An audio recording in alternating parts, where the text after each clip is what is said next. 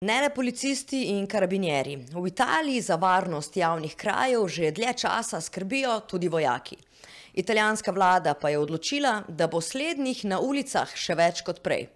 Kaj pa o tem menijo ljudje? Di certo io vedo qui a Trieste c'è un problema dell'immigrazione, e c'è, il problema c'è, però forse va risolto con, eh, eh, aiutando queste persone a integrarsi e non emarginandole. È una cosa assurda, cioè qui veramente stiamo andando alla guerra, devo stare zitto, punto. Motivo perché ci deve essere ordine, eh, tentando di evitare le piccole criminalità. Sono contrario perché comunque esistono delle forze di polizia pensate per quello.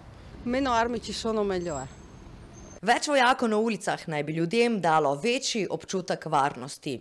Pa je temu res tako?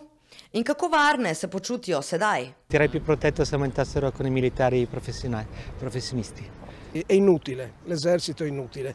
Potrebbero invece pensare alla gente che ha bisogno. Ma allora, diciamo che negli ultimi anni mi sento in effetti meno sicuro rispetto a una volta.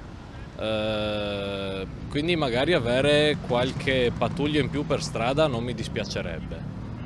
Certo è appunto non do colpa di questa insicurezza per forza ai migranti, questo no, ma magari a una gestione più interna della città.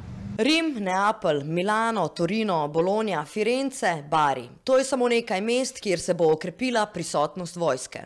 Okoli 800 bo tistih, ki bodo poostreno nadzirali železniške postaje. Skupaj bo na italijanskih ulicah 6800 vojakov, kar je 1400 več kot doslej. Del vojakov pa bo sodeloval tudi pri nadzoru migranskih centrov.